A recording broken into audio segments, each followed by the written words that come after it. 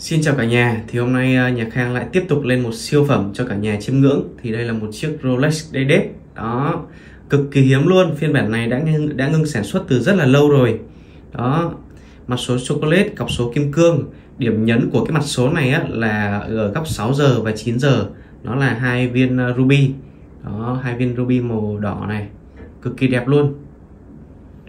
Phiên bản này rất là ít xuất hiện trên thị trường và nhà Khang may mắn về được một em rất là đẹp để phục vụ cho mọi người. Đấy. Nếu như anh em nào mà cổ tay uh, hơi nhỏ một xíu á, thì uh, có thể đeo cái chiếc này nha. Size 36 full hộp sổ thẻ luôn. Giao lưu với cả nhà chỉ uh, nhỉnh hơn 800 một xíu thôi. Đó tình trạng còn rất là ok luôn. Dây. Dây còn cực kỳ cứng cáp luôn nha mọi người đó.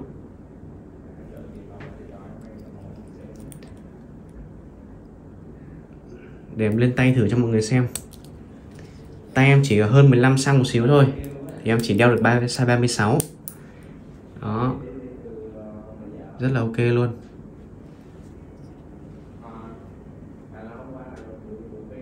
Nếu như mọi người quan tâm thì mọi người có thể liên hệ qua ba số hotline ở dưới đây nha.